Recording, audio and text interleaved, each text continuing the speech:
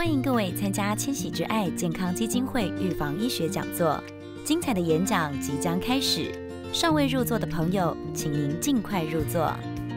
自千禧之爱健康基金会成立以来，我们致力于帮助国人预防代谢症候群，远离慢性病。您知道吗？在台湾，每五人就有一位是代谢症候群患者。其罹患慢性病，如糖尿病、高血压、心脏病、脑中风的几率高出一般人数倍。全台超过三百万人受到威胁，甚至每十分钟就有一人因为衍生的慢性病而死亡。二零一六年的死亡率竟高达百分之三十一点二。代谢症候群是什么呢？代谢症候群是腹部肥胖与三高的群聚现象，其危险因子包括腰围过大、三酸甘油脂偏高、好的胆固醇偏低、血压偏高、空腹血糖值偏高。以上五项，只要具备三项，即为代谢症候群。代谢症候群的发生与内脏脂肪囤积及腰围超标有关。根据研究，女性腰围超过八十公分，男性超过九十公分，有高达五成几率会罹患代谢症候群。代谢症候群好发于三十到六十五岁青壮年族群。为避免三高及心脑血管疾病，请您维持健康腰围及理想体重。六十五岁以上年长者，除非特殊情况，不需刻意减重。若您已有三高现象，建议就医寻求专业咨询。为了推动预防医学及营养保健工作，使台湾更健康，二零零三年，统一企业、统一超商共同捐助成立千禧之爱健康基金会，董事成员皆为营养、食品、医学专家。二零零六年起，更结合产官学力量，投入代谢症候群公益宣导，提倡腰围八九十、健康常维持，以及实践三 D 健康生活的概念。千禧之爱健康基金会为了提升民众健康意识，举办各样推广活动，主要有 Seven Eleven 千禧健康小站、全国健康日代谢症候群健检活动。呢是如何善用国家长照的资源与资源，照顾家中的长辈与患者？那为什么今年会特别定了这个题目呢？嗯，不晓得各位知不知道，其实在今年就是二零一八年的四月，台湾已经正式的迈入了高龄社会。什么叫做迈入高龄社会？也就是全台湾六十五岁以上的长者已经超过台湾人口的百分之十四，也就是说每七位台湾人口里面。已经就有一位是超过六十五岁以上的长者了，所以要如何好好的呃善用国家的资源与资源去照顾我们的这些长者，对我们来说是非常重要。不管您现在是已经是六十五岁以上的长者，或是您的家中有超过六十五岁以上的长者，相信这个议题都是非常重要的。那可能在这几年来，就是。呃，已经有比较让大家觉得需要被关注的老人呃长者的议题是失能跟失智这两件事情。但其实，在今年开始，我们基金会就千禧之爱健康基金会，其实也开始在投入另外一个议题，叫做肌少症的防治。所以，其实，在今天，也就是在今天，我们刚好在呃全台的将近七百家的 Seven Eleven 的千禧健康小站里面，也在推广这样子的活动，然后希望大家可以量一量自己的小腿围，确认一下你。自己的肌肉是不是有不足的情况？然后如果有这样子的问题，可能要开始注意自己要足呃补充足量的优质蛋白质，然后要做一些阻抗型的运动，去防治肌少症这件事情。那当然以呃一个民间的预防，就是保健预防的一个推广的团体来说，我们的力量可能很微薄。可是对国家来说，或许我们还有更多可以善用的资源。所以今天这场讲座也非常特别，我们邀请到了两位讲者。那第一位讲者呢，就是呃卫生福利部长期照护司的周道军专门委员。我们请周委员来为我们周专委来为我们说明一下，国家有哪些资源可以让我们利用呢？那我们掌声欢迎专委。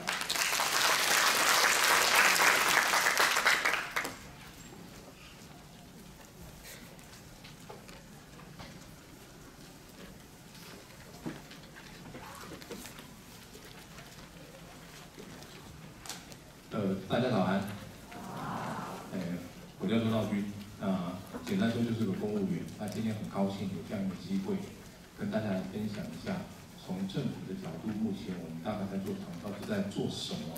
那为什么我们会想要这样子做？哦，那等一下，那呃，我们陈子明陈秘书长，那其实会有更深入的介绍，说真的要用到长道资源的时候，怎么用最聪明？好，我们大概会做一个简单这样的一个分工。那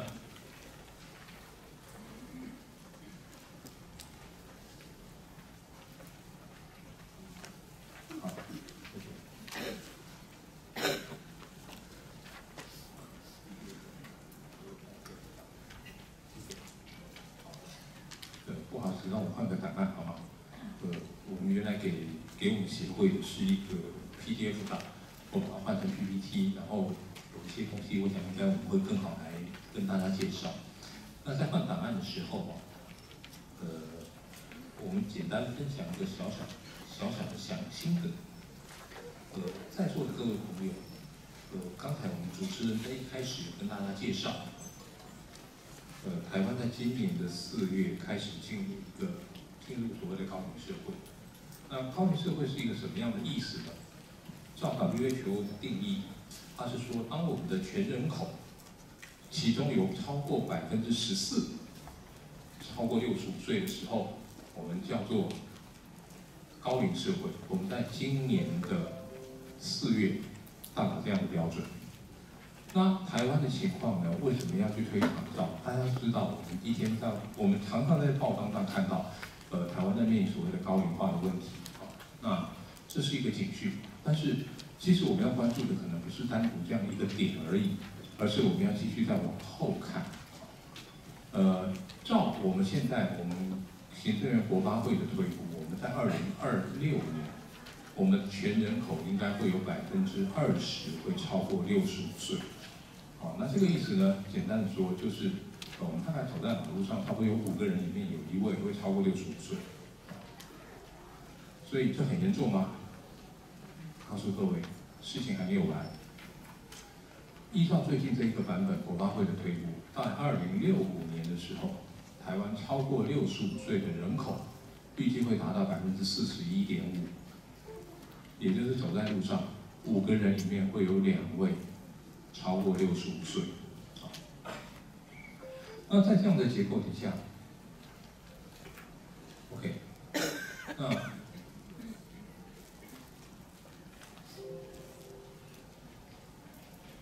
那我们会看到每五位里面有有差不多有两位超过六十五岁。当然，其实我们现在我们看到，我们以现在我们的营养跟保健的水准，六十五岁其实我们会说他叫老人吗？其实我们在座里面可能有很多六十五岁以上的朋友哦，基本上朋友大家聊天的时候都会说各位都是活龙一尾，哦，其实健康状况好的很。但是坦白说，无论如何，随着时间的的演进，我们大概会面临到，呃，他的他的身体的能量量能，或者是运动的能力，或者是身体的机能，会慢慢的开始在退化，所以。我们看到二零六五年的时候，这个是前一版本资料，当时推到二零六一年是三十八点九，那二零六五年推到四十一点五。那在等到二零六五年的时候，台湾会有多少人呢？国发会的推估，照我们的出生率中推估的话，大概在二零二零到二零二二年之间，台湾的人口会到最高峰。我们现在号称两千三百五十万人，差不多就在这个数字左右了。之后呢，台湾的人口会慢慢往下跌，到二零六五年，以现在的推估，到时候台湾大约剩下一千七百五十万人，或者比现在少六百万，好，会比现在少六百万。那我们去想，所以当我们去看长期照顾的时候，政府在看长期照顾的时候，我们看的不只是现在我们需要照顾的对象，而且我们就要一并去思考说，我们长期将来二十年、三十年、五十年。台湾会是怎么样？台湾需要什么样的东西？那台湾的社会结构是怎么样？好，那么在这样的情况下，我们来看看台湾老得很快，那我们周边国家是不是我们是不是老得特别快，或者老得怎么样呢？好，我们简单的把它区分一下哈。我们如果用东亚的几个国家地区来看，台湾、日本、韩国、新加坡、南香港，我们去看到哈，他们大概从国六十五岁人口中百分之七到百分之四十年，大概都在花超过二十几年不等。然后十四到百分之二十的时候，大概都在发生过十年上下而已啊。但是我们去看到欧洲、美国其他的国家跟我们的结构完全不一样，他们化学相对长得多。呃，我们简单的去分析这样原因，其实大概最大的问题会出在移民政策。好，那不过移民政策不是我们谈到现在这么迫切需要去谈的问题。我们去看得到，其实台湾大概花八年，从到百分之二十，韩国跟我们速度差不多，日本花十一年，香新加坡、香港大概都在十年上下。那这个造成这个的原因其实很简单，因为当我们当一九四五年，民国三十四年，二次大战结束的时候。各个全球开始进入婴儿潮，台湾因为历史的因素比较晚，我们大概在民民国四十年到四十二年左右，这个婴儿潮大概才开始。那在那个时候，台湾一年大概出生三十八万人，好，之后更高，最高到四十二万人，这样的时间一直维持到大约民国七十五年。也就是说，台湾的战后用不精准的角度来看，台湾每年如果会用三十八万人做一个分界点的话。台湾在这个每年出生超过这个数字的人，大概持续了差不多三接近三十五年的时间。那好，我们用民国四十年来当切点的话，在一百零五年的时候，这些人开始迈入六十五岁。好，迈入六十五岁，也就是说，从一民国一百零五年开始，台湾每年大概就是有三十几万人要跨过六十五岁的门槛。好，这就是我们要我们要去面对要去处理的事情。那么好。当然不是不表示六十五岁以上的人都需要长期照顾，但是呢，台湾的面，我们刚才会提到为什么人口数会开始往下跌，因为我们不止人口老得快、老得多，而且我们生得少。那么在民国八十八十八年左右的时候，台湾每一个育龄妇女大概一辈子会生一点七六个小孩，到民国一百零五年剩下一点一三，好，剩下一点一三。那么呃，大概我们推估到一百零五年、一百零六年的数字，大概剩下一点一左右，好，大概一点一，好，那这是我们的情况。那我们如果用这个，我们先不考虑这个这个马上月底要去做公投的这个这个什么爱家不爱家的问题的时候。我们一般在在人口替代的角度来看，一般是觉得，如果一个育龄妇女在她的一生大概生到二的时候，人口替代可以维持稳定。好，那台湾大概就差不多在这个一半多一点点。啊，它一半稍微出头一点。我们的生育率确实是相对来讲，从人口学的建议来讲是稍微低一点。那么生的少会造成什么情况？就是每个家里面人数会变少。在民国八十五年的时候，每一个。每一户里面啊，就是台湾的人口数，台除以台湾这个每家户口名簿的数量啊，户口名簿的总数，每一户里面大概有三点五七哈，到了一百零六年只剩下二点七而已，大概少了快一个人哈，二十年时间每一户里面少快要一个人。那我们用一个不太精确的数学观念来去看这个问题的时候，我们就会发现一个现象：如果一个家里面只有二点七三个人，家里有一位失能，扣掉一。家里有一位可能需要维持家里的经济经济支柱，再扣掉一，所以剩下呢，我们假设这个人是剩下的这个家家里面的成员来照顾这个失能人口，剩下多少？小于一，就是家里面简单说就是家里面要去照顾我们的量能不够，那量能不够怎么办？我们就要从外面找，肠道就是在做这样的事情。所以在这样的一个结构底下，我们希望去做的，我们整个肠道二点零的一个基本的目标，我们希望能够做到几件事。大概最简单的两件，第一个，我们希望国民健康的时间能够越来越长。随着我们的生生命的状态，我们一开始会在很健康，也许会稍微有点亚健康，接下来进入衰弱。哦，他可能会走路越来越慢，他可能会上下楼梯会比较吃力，开始会好，我们开始会进入衰弱。那么接下来他可能好，有可能会失智，甚至失能。好，那最后他可能会需要重病，会卧床，最后那么。他就离开了。在这样过程里面，我们希望做到事情什么？我们把衰弱到失智这个时间能够往后延一点，他能够健康的时间能够更长一点。台湾现在国民平均余命最新的一个一个版本告诉我们，国我们国民平均大概已经到八十岁，那男性比女性大概差五岁左右，男男性大概在七十七到七十八之间，女性在八十三左右。好，我们如果我们的国民平均余命延长，但是我们希望这个多出来的时间呢？我们希望他不要是躺在床上，哦，你是延长的余命是一个有有品质的生活，我想这个可能会更重要。所以肠道是希望他的健康余命能够延长，那么即使他可能会有失智，可能有失能，我们怎么样去把它能够剩余的功能能够把它维持住，好，把剩余的功能维持住，然后去减少它需要完全的卧床，完全靠人家照顾的时间。这个就是肠道我们大概希望做到的事情。所以在这样的一个基本的目标底下，肠道大概的几个目的，我们希望在做肠道的时候，我们希望当然品质要好，价格要合理，好，价格合理，而且能够普及的去做，那让这些老人能够在地老化。那么在讲在地老化的时候哦，我们在座呃有很多看起来年纪可能会比我再长一点的朋友，也许我们再去问问自己哈，当你再老五岁。再多十岁的时候，你希望住在哪里？你的第一个选择会在哪里？家里。好，这就是我们为什么要推在地老化。好，那么当然因为世代的不同，也许我们就我们接下来再问。那么如果问你住到机构里面，你愿意不愿意？那不同的世代可能看法会慢慢的不一样。啊，现在八十岁以上的世代可能会觉得这个接受度很低。五十岁，以上五十岁左右的，他觉得说，哎，这个可以考虑考虑，我看看那个地方环境好不好。这个是比例的问题，好，没有一定的答案。所以在地老化其实是一个最基本的价值。为什么？因为肠道其实是处理一个生活的东西，它处理的是吃喝拉撒，处理柴米油盐，那处理在生活中要去做的事情。既然是生活，当然是在地。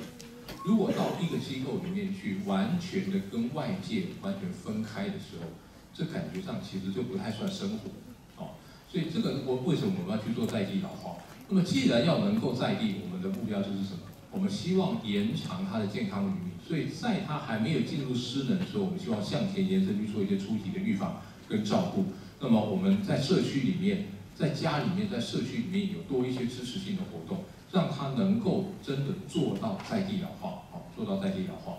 所以长照二点零照顾的对象。我们一般都会觉得，大概都是老人为主，确实老人为主，但不是全部，好，不是全部。长照二点零照顾的对象，除了六十五岁以上的失能的老人以外，我们同时处理照顾五十五岁以上失能的原住民。为什么原住民会拉到五十五岁？我们在做国家的健康研究的时候，我们在算国民的平均余命，我们的国人平均余命八十岁。在座有没有人知道原住民？我国原住民的平均余命是多少年？是多少岁？啊，多一点啦，哦，不止，哦，大概比我们国军国人平均少八岁，七十二左右，七十二左右。所以相对来说，换句话说，如果他的平均余命是少八岁的话，那么他可能发生的失失能的时间点就会再往前。所以长照二点零会把这个部分往前移。接下来呢，我们会处理的是什么？五十岁以上的失智症患者。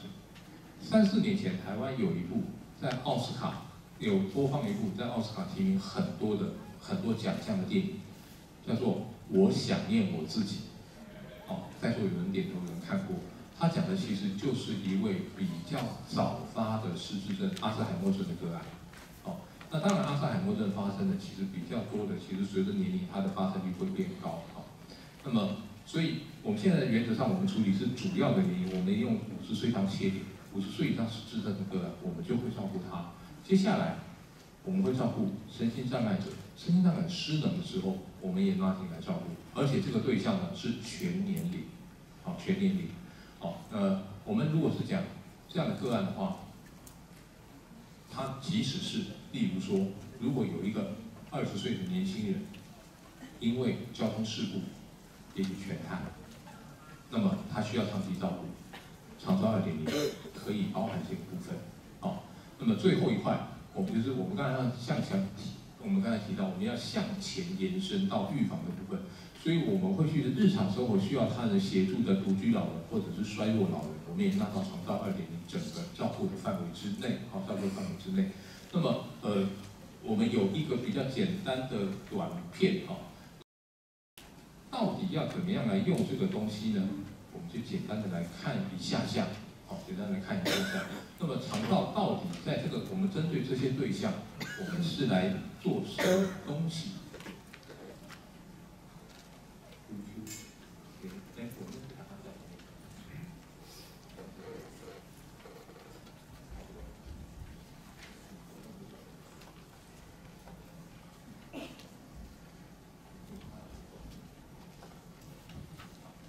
没关系哦，诶，因为里面摆了几只档短片，档案真的有一点点大。如果是时间的关系，我们把它跳出来，我们就跳过吧。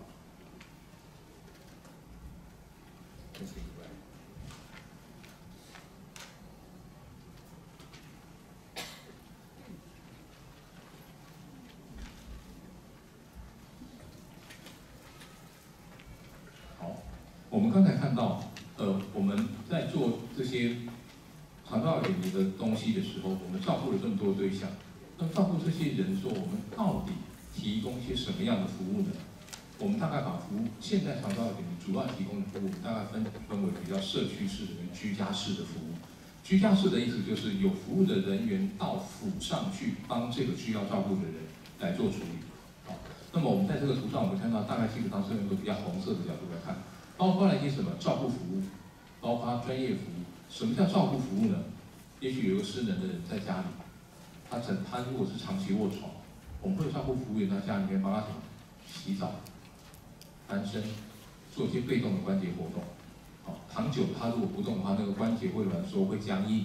哦，帮他做这些东西，不只是这些，还包括什么呢？例如说，他如果是失能，他在家里不方便做饭，我们可以有服务员到家里面帮他做一个简单的便餐。好，帮他简单，然后帮他做喂食。那如果他因为咀嚼不方便，他可能要管罐，他我会帮他做管罐，啊，甚至呢附带做一些比较简单的家务整理，啊，简单的家务整理，啊，我强调是简单的家务整理。为什么说简单呢？因为呃，我们等一下会谈到，哦，国内现在对于我们在做这些居家的照顾服务员的时候，他们其实做的是一个比较有需要专业训练，去照以照顾这个个人身体为主。但是呢，我们在国内有一点点会把这类照顾服务呢，会把它当成是比较印象中会把它偏向用在帮我的家里面做一些整理的动作，啊，所以我们的照服员以往会被人家去贴上，有的人在聊天会贴上一个标签，啊，说我们的照服员叫做钟点工，叫成钟点工的时候呢，其实这个专业的味道就降低了，降低的结果是怎么样？坦白说，没有人愿意做这个行业，那将来要谁来照顾人呢？啊，我们会面临到这样的情况。那叫完钟点工还不算，每年其实在使用这一类居家服务的时候，用的最多的，我们用月份看，各位知道在什么时间吗？我告诉各位，十二月跟一月。为什么？因为快过年了，要他产出。哎，我们曾经碰到有一些居家服务的单位，在跟他服务的个案在签服务的契约。好，比如说我们有照服务员，每天每多久到你家服务一次，做一些服务内容。他们在服务契约里面有，我们看曾经看过有有服务单位特别要去签，他说本单位的服务员不提供以下服务：一，洗纱窗。二，清理抽油烟机。哎，有人在笑。我告诉各位哦，会要写在契约里面，就表示他们遇过真的这样的个案，啊，遇过这样的个案。那当然，其实绝大多数的使用者，其实都会把我们的照顾服务员当成是一个有受过训练、专业训练的去照顾个人身体，做这些照顾服务。第二呢，会有些专业的服务，它是有专业的人员，包括像护理师。物理治疗师、职能治疗师到个案的家里面去帮他做服务，哪些呢？也许像我们有些在家里的个案，他会有管子，身上会带管路，鼻胃管、尿管等等。那带管路，或者是因为长期的久坐、长长期的卧床，他可能会有压疮、有伤口，他可能会要做处理。那这些很多护理人员来做。那么也许是像他这个呃，因为中风了，出院了，回到家里面，他大概不太容易，呃，回到以前一样可以跑步，可以什么。但是他透过一些好的赋能的动作，他可以在家里面做一些比较简单的活动。这些需要物理治疗师、职能治疗师的协助。我们会有一些居家的专业服务。当然，个案有时候他怎么样，他会需要说啊，我需要到社区里面去动一动。我也许一个月有两次，我要到医院去看个病，我们有交通接送。那么在家里有一些营养的餐饮，有些老人，我们在家里，家里没人，一个人煮一顿饭很麻烦，那么我们也许可以送餐过去，或者是他也可以到社区里面跟大家一起吃饭。那么这些是居家型的服务。那么接下来呢，我们会有一些社区型的服务，包括简单的看会有些叫日间照顾，有些家庭托护、小规模多机能失智失智的服务据点等等。好，什么叫日间照顾？讲学理太麻烦了，我们用一个简单的比喻来大家想一想。我们家里面如果有小朋友的时候，四岁，我们会把他送去哪里？幼稚园。好，日间照顾就有点像这个味道，它是有一个稍微有一点规模的场地，那么老人家白天我们就送去，他在里面可以做一些相关的活动，不管是身体的、智能认知的等等各种各样的活动，晚上再回家。好，那这个场地里面也许有三十个人，有二十个人等等不等。那么什么叫家庭托护呢？一样，我们用小孩子来比喻，如果家里有个一岁的小朋友，我们要送出去，我会送哪里？保姆。哦，我们送保姆家。家庭托护就有点类似的概念。家庭托护是一个比较接近像家庭这样的空间，它最多只可以照顾四个人，啊，照顾四个人，啊，那很失能的去可以到他那里去接受照顾。那么有一些叫什么叫做小规模多机能呢？因为有一些单位，我也许会做一些派人到居家去做服务，我自己也有一个空间来处理像日照的这样的东西，甚至呢，我平常要做日照、日间的照顾，但是也许这个失能的失能的个案，我家里面照顾他的人，哎，不好意思，我可能要出差两天，晚上没人顾怎么办？他也可以在这个叫做小规模多机能的地方，他晚上偶偶发性、突发性的短时间的晚上可以住在这里，那就是一个跟日照差不多规模的空间，但是我会附带一些住宿，附带一些其他性质的活动。那么这些基本上呢，都是针对比较偏向已经到失能程度的个案提供的服务。那么如果他还没有失能，在亚健康到衰弱的时候，各位我们在社区里面都会看到一些像什么文。第社区如果常常看到一些叫社区的关怀据点，哦，我们社区里面常常会看到一些关怀据点，那么会会有一些我们社区里面的长者，也许到社区关怀据点干什么？中午过去用个餐，或者呢，有时候你不你不过去，也许会接到有个问安的电话，啊，问一下说，哎，这个两个礼拜，你最近状况怎么样？好不好？有没有什么需要人家帮忙？需要人家协助？好，关怀据点。那么我们的这样的性质的点呢？在原住民地区，我们还叫做文化健康站。另外，教育部体系也有一些健康热龄中心、学习中心等等。那么，同时，现在这些社区性的据点里面，我们还有在做一些叫做预防延缓失能的计划。哦，那么它和我们这个平常早上跑到社区公园去打个太极拳、做个什么五行功什么，稍微不太一样是什么？我们会用科学比较更有科学的方式去前端先帮你做前后测。做了一段时间之后去测量你的结果，那你要进来做的话要有一定的标准，好，那来做一些活动，然后呢去维持你身体的体能，哦，维持身体的体能。那么我们岔开个小话题，其实我们去评量老人，哦，这个在公共卫生里面去评量老人他的健康或者活动，一个最常用的标准，哦，最常用的标准，它其实量一个东西，量他的大腿，大腿的腿围。好腿围好那我们可以看到，老人家因为活动量越来越少的关系，其实他的大腿随着时间有可能会慢慢的变细，哦，所以有适度的活动跟锻炼，维持他的大腿粗细的，其实会跟他长期的健康有相当明显的正相关。好，这边我们大家可以看一下。好，我们今天看到都是比较偏向社区和居家的服务。那么当然，也许可能会有一些没有办法在家里面照顾的个案，我们只好把他送到，也许会需要送到机构里面去。那么，长照二点零在处理的不只是这些有失能的个案，还有一些，还有一块很重要的就是照顾这些失能的人，我们也要照顾他。哦，我们常常在常常在社会社会版里面会看到什么？老先生照顾老太太，但是呢，照顾不动了，结果呢，两位老人家牵牵手就一起走。哦，这个或者是什么哥哥照顾妹妹，孩子照顾妈妈，哦，然后呢，太累了，受不了了，一起走。因为照顾人其实真的是很辛苦，哦，真的很辛苦。所以长照点，你不只是照顾这个失能的人，也要照顾这个照顾失能的人的这个人。我们把它叫做家庭照顾者的，会有一些支持的服务，让他可以出来喘一下。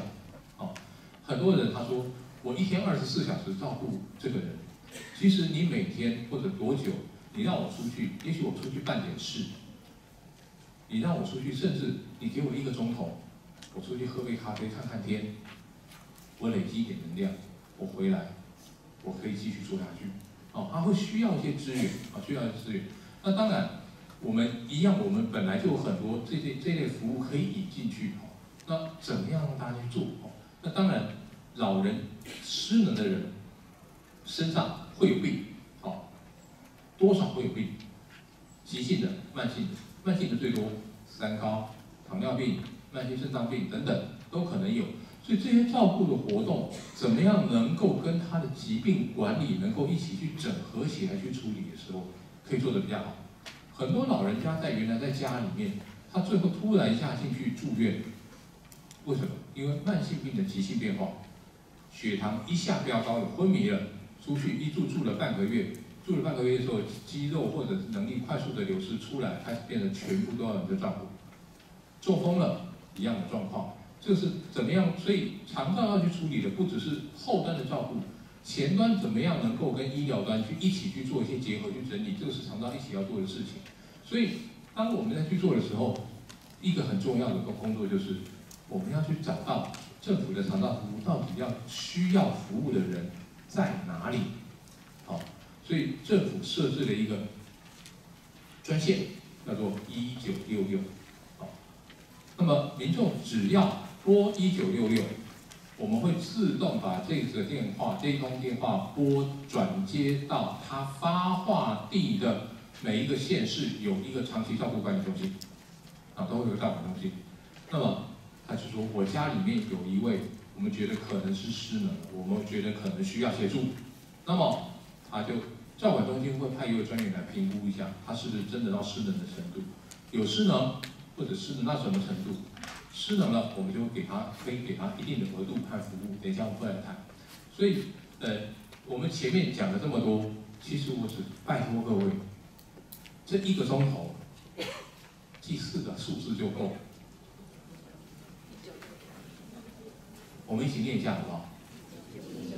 哎，这一个钟头记四个号码就够了。因为什么？在座各位大概都用不到。但是呢，你可能会遇到，您可能周边的人会遇到，您可能社区里面的人会遇到，那你发现可能有需要的时候，那么也许自己打，也许请他打这个号码，这个电话打过去呢，前五分钟免费。一定有人说，阿林政府实在是有点小气。我告诉各位哈，我们算过，现在全省。每全国每天大概在四百五十通到五百通不等，哦，我们算过，平均通话时间三分半，所以等于免费了，哦，等于免费了，哦，所以有需要的，一九六六打进去，我们就会有长期照管中，我们长期照顾管理中心就会派人到家里面去做评估，评估出来呢，这个人如果真的失能，那么我们就会告诉他失能的等级。然后他失能的时候需要处理的问题，每一个失能人需要处理的问题不太一样，好，那么接下来就会把这样的一个失能的个案派给相关的服务单位去帮他定怎么样去帮他照顾，例如说，诶，是不是两天要洗一次澡，然后多久要回去看一次医师，那么多久或者哪一天要到他家里面去帮他，也许帮他做家务的清理，帮他做煮饭等等。好这些细部的照顾计划就会找到一个合适的单位帮来帮他做处理，好，来帮他做处理。那么时间的关系，我们我想影片我们就不看了。那么这样的动，我们刚才这样的流程，我们用一个简单的体系，我们来看的时候，大概我们这样去看比较方便。也许个案他会从社区，他就可以打一九六六。那我们刚才也提到，有一些民众他是因病。那么我们现在跟国内有大概一百八十家左右的比较中大型的医院都在合作。那么只要是出院的个案，他如果看起来会有这类肠道需要，他在出院的时候就可以帮他来去做一些衔接和准备。哦，他有失能的需求，那么他一样做完这些出院的准备工作之后，也会 pass 到我们的县市的照管中心。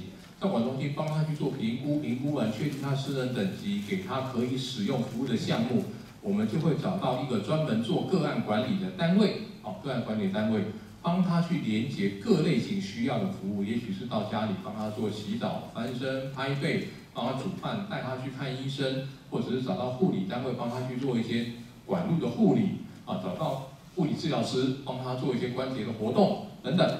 好，我们会会做。会帮他去连接各种各样的单位来帮他做服务，那么这个就是肠道我们在讲的肠道的 A B C，好 A B C，我们大概有一个简单的印象，所以呃，到底一个被评估完的个案，他可以拿到怎么样的服务呢？现在我们主要的会提供给他四包钱，好，这个等一下怎么好好用这四包钱，我们陈秘书长会给大家非常详细的介绍。如果我们会给他四包钱，这四包钱第一包叫做照护理专业服务，依照他的失能等级，我们现在评出来的失能等级会提供为七个等。我们用一个多元的评估量表，它会从一到八，从轻到重。一我们把它定位为衰弱，二到八都是失能，从轻到重。如果你是二级的个案，每个月可以用一万零二十块钱照顾及专业服务，好，照顾及专业服务。最重的八级可以用到三万六千一百八十块每个月哦，好每个月。那么大家会想说，这到底好用不好用？我举个简单的例子，如果你是，如果他会需要找一位照顾员，到他的计划里面有一项叫做请照顾员到家里面帮他在床上做擦澡，擦澡擦一次多少钱呢？两百六十五块，好，两百六十五块，他的额度就用掉两百六十五。哦，一万零二十万就用掉两百六十五，那民众自己要不要付钱呢？要付百分之十六。好，如果你不是低收入或者中低收入的话，一般情形我们自己要付百分之十六，也就是付两百六十五乘百分之六，大概付四十块钱。哦，自己差不多付四十块钱。好，换句话说，如果即使你是最重的，一个月要到三万六千一百八，你一个月是部分负担全部都用完了，你用在各种的服务使用上面。你一个月大概差不多付五千块左右，一个月差不多五千块左右，可以用相关的服务。好，那么第二块是交通接送。我们刚才提到，呃，也许你会需要出去看病，啊，两个两个礼拜也许要去看一次医师，那么这是可以用交通服务。那每个月一千六百八到两千四百块不等，看你住的地方的交通便利性。越便利的，我们给额度低一点；越远的地方，你住在什么花莲、台东，还可能在山上的，我们给的额度会比较高。好，那第三个呢？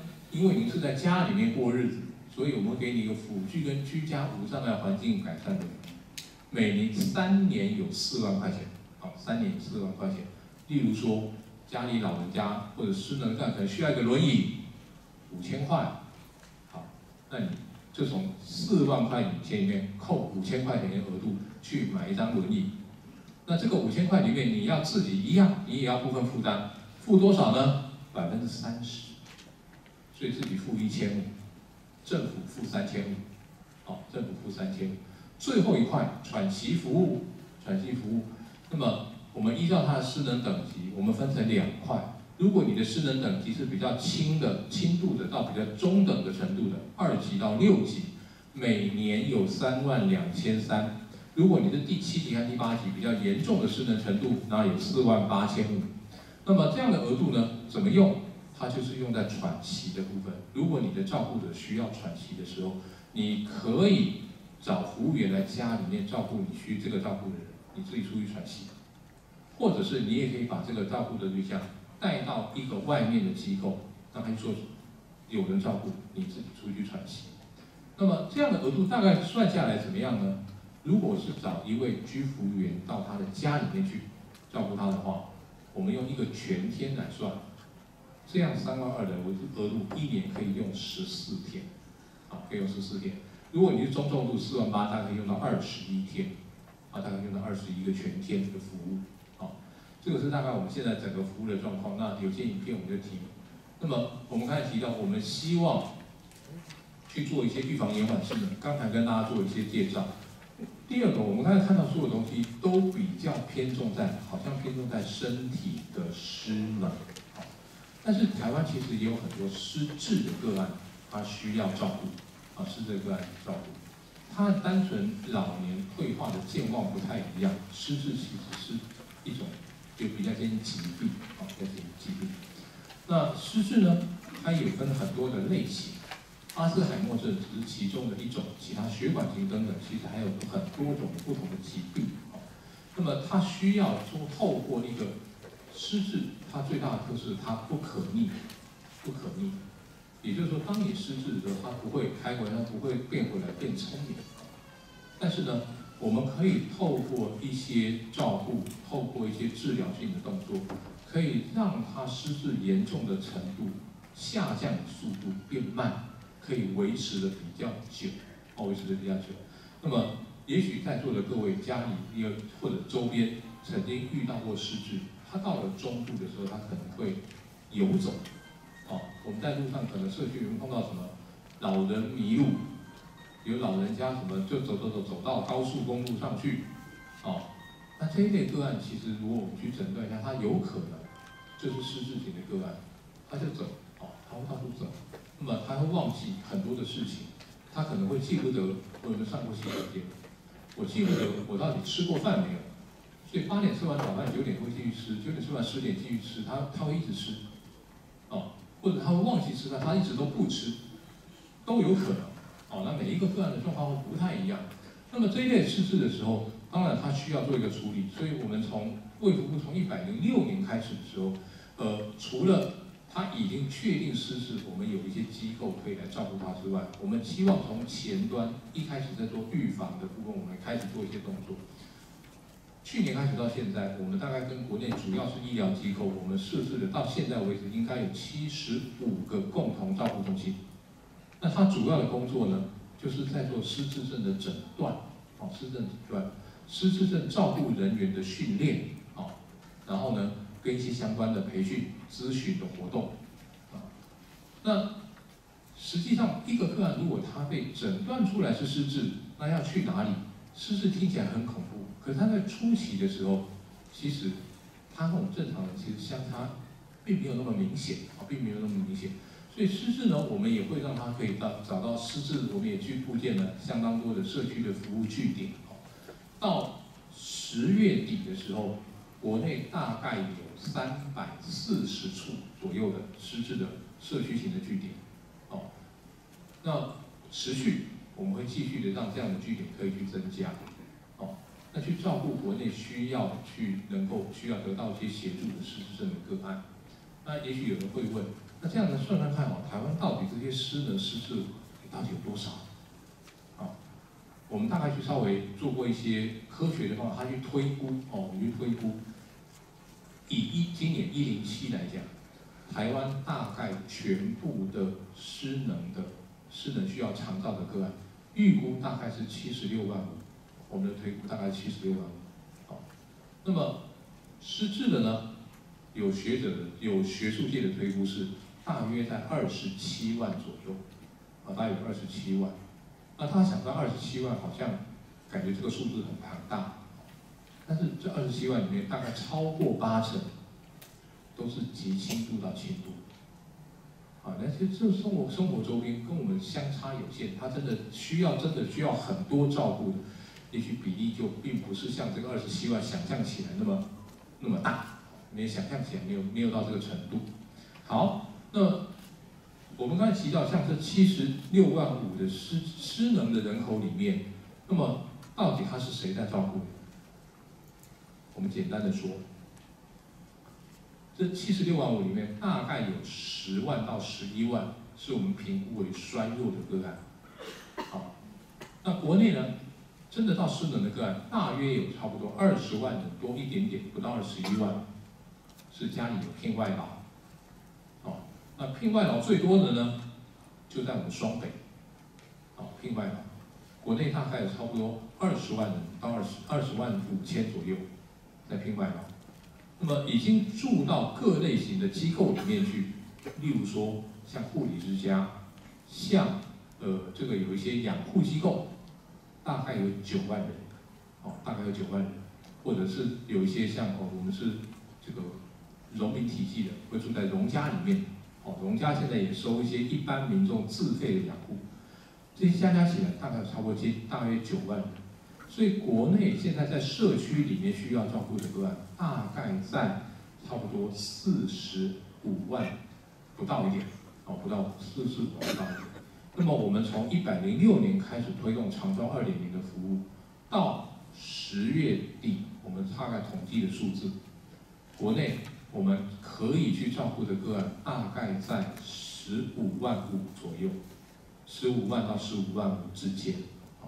我们大概已经处理的，我们大概能够涵盖到接近三，差不多三成到三三分之一我们的这样量。我们希望两年之后大概可以到五成，哦，希望两年之后大概可以到五成。那呃，肠道我们刚才一开始提到，老年是一个我们一直会面临的问题，我们希望把这个涵盖率越来一步一步的去把它拉上来。那这样拉上来的过程呢，就是需要不管是师智或者是师门。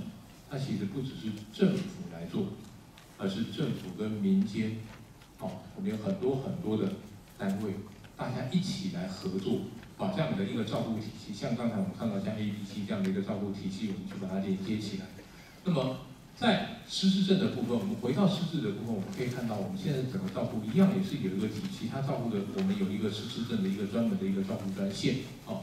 那么其中也有一个家庭照顾者的咨询专线，就是我们家庭照顾者关关爱总会。那有提供这些照顾者的喘息服务，这些照顾的人需要做一些照顾观念的训练，啊，照顾技巧的一些训练。那么单位也可以去反射一下被照顾的人状况。那么家属中间可以做一些支持，一些互助家庭等等，这个都是我们现在在做的。哦，那么我们刚才也提到，失能的个案，我们在照顾的时候。它一方面来自社区，第二就是来自于出院，哦，所以在出院的部分，我们的目标是出院前就可以帮他作为失能去做一些评估，评估完出院之后，尽快尽快就能够有服务到家里面去，啊，尽快到家里面。那如果说我们真的是出院以后，你开个玩笑说你要一个月一个半月服务才到家的话，那我们民众的选择是什么？他说我要等你一个半月的话，哦，我干脆。我是什么去请外劳啊，去干什么干什么就好，好，但是修外劳，坦白说，经济负担比用政府的肠道服务其实真的要高蛮多的，哦，高蛮多的。好，那么这边是有一些我们在做出院准备的部分，那宣导的短片我们就不特别谈。对家庭照顾者，我们刚才讲到怎么样去支持他。那么一九六六是一个我们在县市照照管中心管道，目前呢，我们和家总一起在合作，国内的二十个县市啊，不含金马。国内的二十个县市，我们现在都有一共有三十个家庭照顾者支持的据点。好，那呃，我们这边可以大概看一下。那这些据点做的呢，就是帮我们家庭的照顾者，也许有些训练，有一些帮他去连接你需要一些照顾的资源。那么有一些对照顾的教育的训练，甚至对他的心情、他的感觉怎么样去帮他得到一个疏解等等，在这些支持据点里面，我们都可以来做。那么这段时间，我们都非常希望外界能够知道政府在做的长照的一些活动，所以，在卫福部的官网上面，我们已经有一个叫做长照政策的专区，在这个专区底下呢，大家都可以看得到我们所有的一些服务的东西。大家有兴趣想要知道有什么东西，不只是看常见的问题哦，我们有非常非常多的宣导资源，有各式各样的短片。那大家有兴趣可以上去看一下，知道政府在做什么哦。我们大概做了一些什么样的东西？那么各种各样的服务哪里有等等哦。那么在这个资讯公开里面，我们大概都有一些常见的资源。例如说，我想要找我自己家周边有没有一些肠道的服务的单位，我们也有一个有一个不管是失智症的照顾的资源地图，或者是肠道服务机构的资源地图，大家都可以看啊。那这个是肠道服务资源的地体地图。那这个版本呢？我们要老实跟大家说，现在这个版本现在状况不太好，啊，不太好，因为呢，我们正在做一个更好的版本，所以现在这个版本呢，坦白说有一点点将就，啊，有点点将就。那么我们大概在每一个地图上面，各位可以找到我自己家里周边有没有 A，有没有 B，有没有 C，有的话，这个单位是在哪里？名称是什么？联络的方式是什么？那么我们预期大概在明年中，啊，明年的第二季，我们会有一个新的版本出来。那么它可以更方便我们民众的检索。我可以去检索我家里的周边，例如说五公里有多少资源，每一个机构呢，它是做什么服务，我可以看得更方便、更仔细。好，我们现在会有一个新的版本，预计大概明年中可以出来。那么失事也一样，我们也可以看到失事的周边的的，我有哪些服务的单位，有什么样的资源，预防延缓失能的部分，也可以透过这些系统，我们可以去看得到。好，那么呃时间的关系，我想我们。先把介绍会停在这里。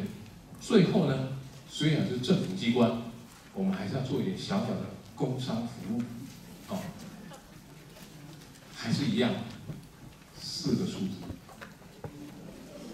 谢谢大家。哦，那打电话嫌麻烦，我们卫福部一样有 line 等等，大家都可以上去看看。好，我先报告到这边，谢谢大家。谢谢朱专委很精彩的演讲。那我们因为时间关系，我们开放一个问题，好不好？有没有在场的听众有问题想要请教周专委的？讲得太清楚了，是不是？好，那没关系。那我们再一次掌声，谢谢。有一位是，哦，好来，请。二点零，而不是一点零或三点零，谢谢。好，来我说明一下哈，诶。长照哦，其实大概在民国九十五年、九十六年，当时政府就开始在推，好，当时叫做长期照顾十年计划，好，那这个十年计划呢，大概在一百零六年会到期就结束，好，那当时呢，其实政府投入的资源也不是那么多，所以在一百零五年这个。总统选完之后，我们把整个长照计划做了一个规模，做了非常大幅度的扩大，哦，大幅度扩大。那么我们基本上，我们希望民众知道这件事情，所以我们还是用这样的一个概念，所以我们就把它叫做长期照顾十年计划二点零，哦，所以我们会从一百零六年开始做十年的时间，哦，做十年的时间。那也顺便说明一下，在这十年，我们从去年开始，为了要充足。做这些长照的财务的资源，呃，政府去修了两条法律，好，一个是烟酒税法，另外一个呢是遗产及赠与税法，好，把税调高了一点，好，调高一点，调高出来的部分呢，就指定用途放到长照这个部分来用，好，照今年财政部的估计，哦，我们大概长照可以所有可以使用的财源，大概在新台币三百三十亿左右。大概新台币三百三十亿，好，那大部分是来自于烟税，哦，烟税，那增加幅每根烟多一块，哦，每根烟多一块，好，那诶顺便做一个小小的澄清，我外面有时候在开玩笑，就说因为是调烟税来用在长照，大家就有人开玩笑说这叫做抽烟救长照，啊，我们听了其实心里面有一点点难过哦，为什么呢？因为调烟税的目的不是用来做长照，而是为了要什么？为了要让民众少抽烟的。好，这个全世界都知道，要让要让民众少抽烟哦，最好的工具就是价格。哦，价格。台湾的烟大概只有新加坡同样一包烟哦，价钱大概一半而已。哦。所以我们看到很多人到国外去了，有抽烟的朋友知道，你抽烟到国外玩回来的时候怎么样？一定免税店要带一条进来，哦，带一条不够的，还要找朋友帮忙带一条进来，哦，为什么？因为他想要买便宜的烟。那你烟贵的时候呢，抽的就会少，哦，那至于抽进来的烟，民众因为少抽烟，这个健康条件改善，抽进来烟税要干什么？这其实是两回事，哦，基本上应该是两回事。那但是不管怎么说，也因为有这样的一个烟税的益助，确实我们国内这两年在做长照的部分，哈，确实是我们的财源有比较充裕。那我们也希望，我们也会好好用这个这个这样的经费哦，让国内更多有需要使用到长照的民众可以得到需要的照顾。先说明到这边，谢谢。谢谢各位。所以这个小时大家要记得是哪四个数字？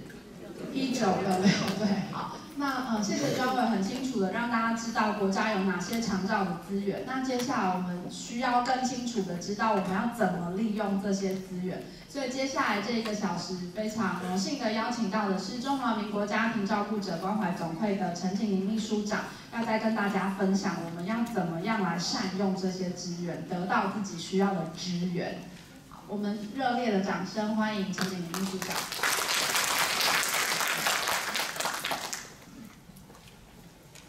各位伙伴早安！星期天的早上，大家这么认真，花了一个早上时间来听一场演讲但是我相信今天大家不会空手来呃，刚刚专委一直提到了五个字，说四个数字，还有五个字叫家庭照顾者。谁是家庭照顾者？各位。没有人不会是家庭照顾者，只要有家人，好，所以你什么时候听这场演讲，我觉得都实用，特别是现在都还没有遇到的，其实更好，因为有些事情是要及早准备的，包括我们跟长辈的沟通，跟家里，我们在安排这些事情，呃，年轻人为长辈安排，或者长辈自己要做一些选择，其实都涉及到一段沟通，所以我现在常常在建议我的家属说。呃，其实你只在第二度、第二级、第三级轻度阶段，你都试着让长辈开始使用一项到两项服务。为什么？跟今天的标题有关。你要开始迎接陌生人进来，开始习惯有外人为你照顾这件事情。这反是台湾社会目前最大的一个挑战，因为我们很习惯把门关得紧紧的，我们很不习惯打开门迎接一群陌生人，但是。我自己最近这一年，其实政府做的非常辛苦哈。刚刚专委，你其实不要看他这样哈，他今天看起来精神挺好。呃，有一群卫福部的同仁，在过去这一年可能加班到十点、十一点，因为我们整个政府的长照预算从过去的十年、二十年间，好，最后最后阶段大概每一年三四十亿吧，好，现在是几亿？预计三百。那去预计三百年十倍，啊，突然要增加一个那么大的量能，其实这个社会还有这这民众是吃不太下去的哈，就是他没有办法消化的，好，所以你可能刚刚听了很多很多国家现在的部件，现在此刻开始，请大家换一个角度，因为刚刚是服务提供者的角度，我们现在从服务使用者的角度来拆解、来解释。刚刚听到的，我们怎么用，我们怎么面对哈？好，那我今天有个标题，因为我最近在思考长照二点零。刚刚你问的很好，这是很棒的题目。因为家总的零八零零五零七二七的专线，不止一次接到一个民众来电问，为什么叫长照二点零？他说，而且他自己还有答案哦。他说，秘书长，是因为长照二点零零两千元，一点零零一千元吗？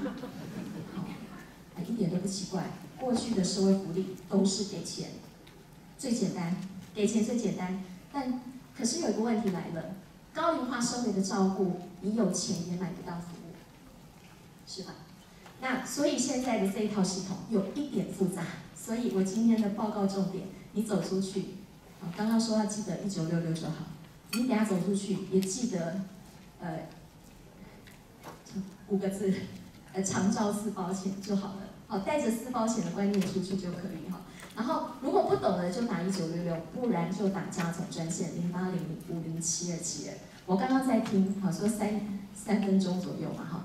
家总的进线九点一分钟，也就是照顾者会在这支电话停留更久一点。为什么？他会问一些他自己的问题。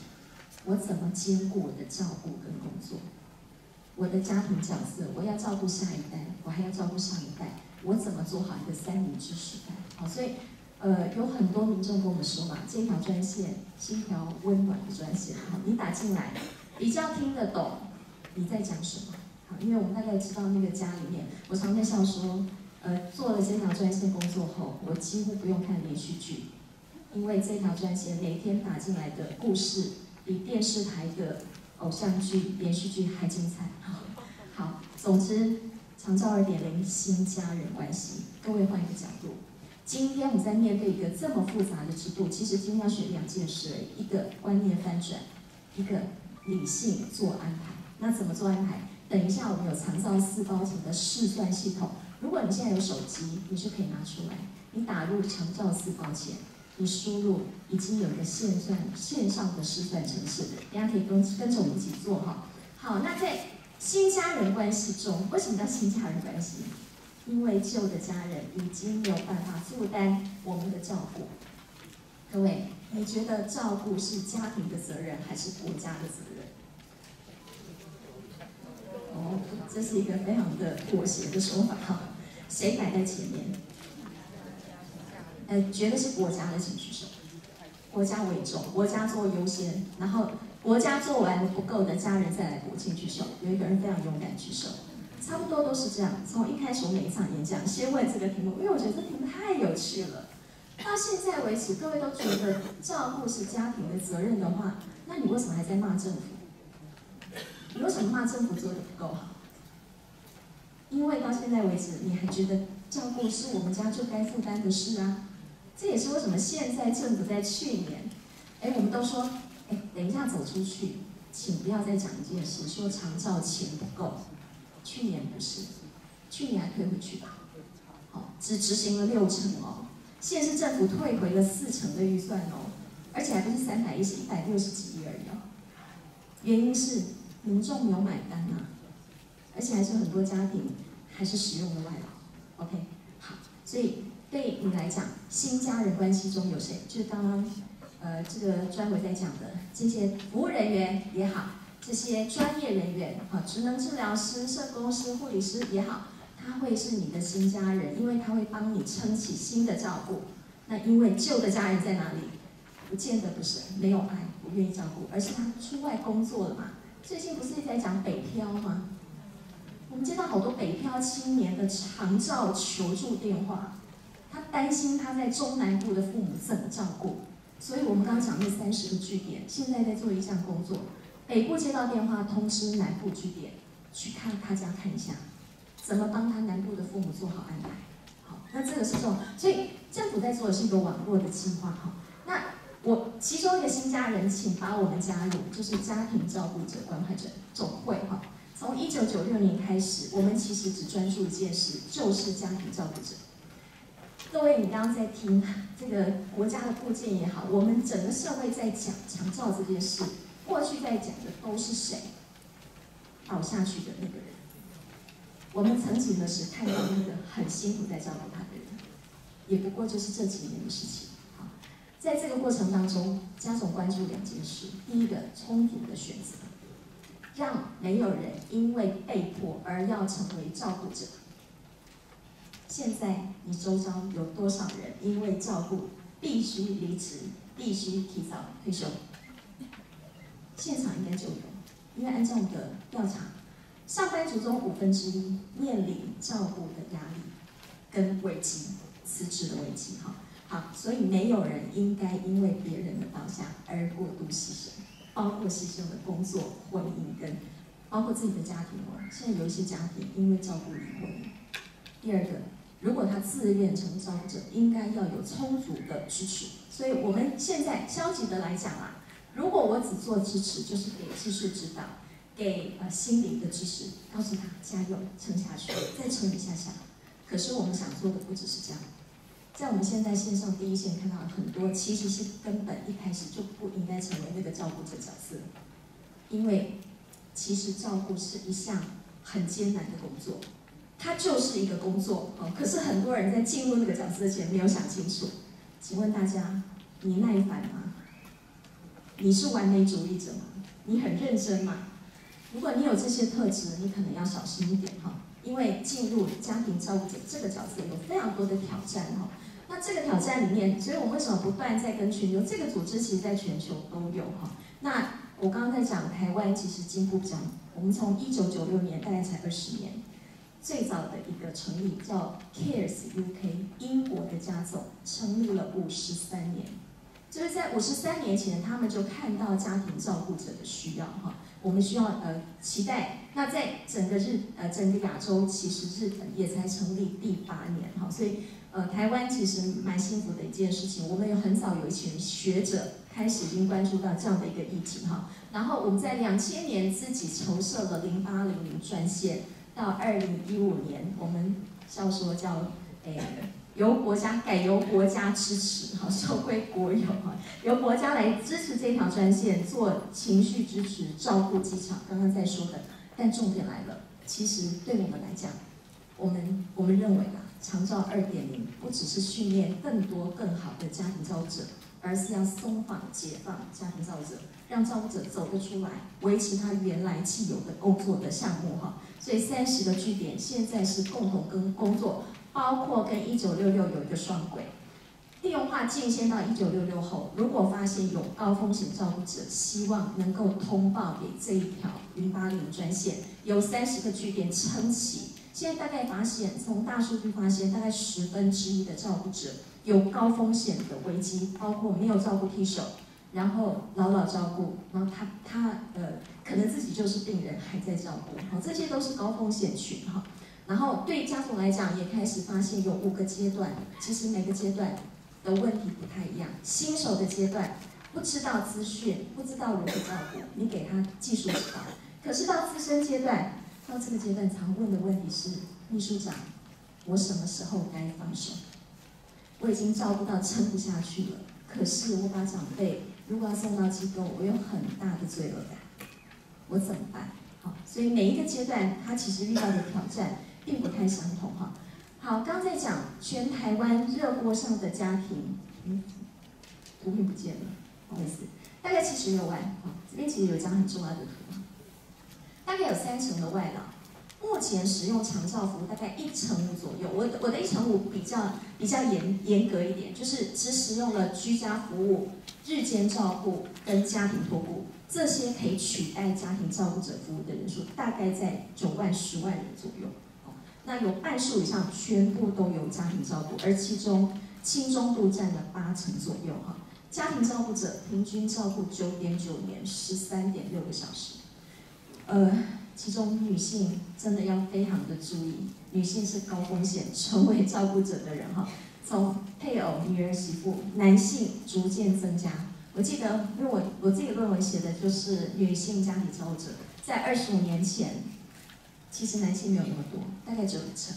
最近这二十年间最大的改变就是男性变多了，好，女性呢的排序从配偶、媳妇变到配偶、女儿、媳妇，好，就是乖乖照顾的媳妇也变少了，那这当然跟家庭的结构有关，也跟女性的自主，哈，不愿意成为那个只是照顾者角色有关，哈。好，再看一个危机，四十岁到六十岁间占了半数。也就是还有劳动力人口有在家担任一比一照顾者，这是国家多大的损失？我们台湾从二零一六年开始，因为婴儿潮过后，年减十八万劳动力，可是有很多人辞掉工作回家担任一比一照顾者，这是一种浪费，这是一种浪费。但是他们最感到忧虑的工作，忧虑的问题就是工作也好。经济压力，尤其这种一比一照顾者有一个风险，我们不像德国，德国的长照保险，他是觉得他要补偿家庭照顾者，由国家给家庭照顾者一份薪水，而且保障劳保不中断。各位在台湾有这样吗？没有的情况下，你绝对不要离职。你离职了之后，就代表你现在全心投入一份照顾。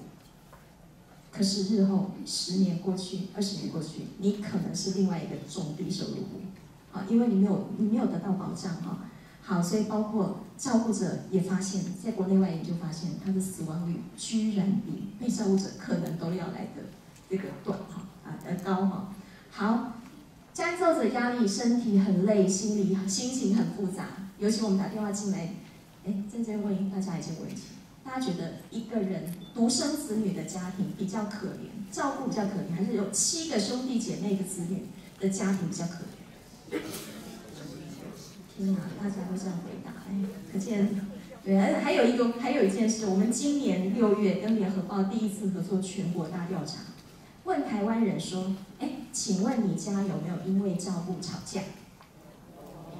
你们觉得有几成？你猜？你觉得几成？八成？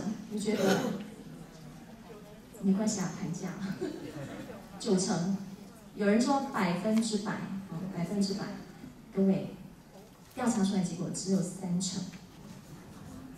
我觉得这是我们的失误，我们应该把题目设计成说：你听过别人家因为照顾吵架，而不是你家因为。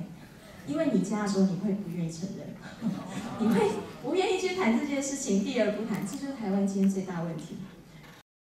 你谈家庭照顾协议，我们不愿意把不能讲丑话说在前面，但是把事情先清清楚楚一开始讲。很多照顾者都说，秘书长，我怕吵架，然后我会告诉他，只是现在小吵还是未来大吵的问题。好，这个这个这个呃，要避开这个鸵鸟心态啊，这也是我们今天为什么来讲。那台湾社会在现在面临大概两个挑战，在照顾这件事遇到两个挑战，一个是家庭照顾悲剧，这也是我一直在呃提醒政府说，你真的你红做你做他老老官，红想他老老官哈？为什么？哎，你在做的事情可能需要时间，资源要涨，需要时间。可是两三个礼拜就出来一件照顾悲剧，我觉得大家不会怀疑这个长照二点零吗？可是其实不是这样哈，因为为什么？因为照顾悲剧大部分发生在什么样家庭？我们说平均九点九年中，前面大部分时间是轻度、中度阶段，到最后卧床时间，刚刚专委在讲，我们国家希望缩短的卧床，但是一定有卧床，那卧床需要谁照顾？需要一个人。需要一个人，这个人不是外劳，就是自己辞职回家，要不然就一定要机构。可是我们的长照二点零，其实现在没有补助机构。好，所以最重的那一群人反而没有得到当下最需要最快的服务，这是现在的漏洞。啊，这是我们可能，诶，因为既然是长照二点零嘛，一定有三点零、四点零嘛。我期待就是我们在改变这个制度的同时，我们去想象为什么会发现知识问题，而其中有一个最大问题。孝道文化，所以各位不要不要要自己心中要有一把尺哈，你的人生掌握在自己手上。好，那我怎么样做一个最合于家庭的安排？不要听别人的，哦，就是这种，其实要拒绝孝道绑架嘛，哦，就是在做这个过程要理要理性，要严格的去评客观的去评估这些资源后，做一个最合乎家庭的选择。好，第二个挑战。是照顾离职的问题。我我我一直很喜欢这张照片跟这个故事。这是天下文化在前年的时候一篇报道。高野昭宏先生四十五岁，日本。这个背景，如果大家去过日本，大阪的道顿崛，一个很热闹的闹区，旁边有游民，好，他们去调查，媒体去调查游民的时候，发现了这位高野昭宏先生。那我为什么喜欢？我觉得这段话讲的真好。他说当时是一个。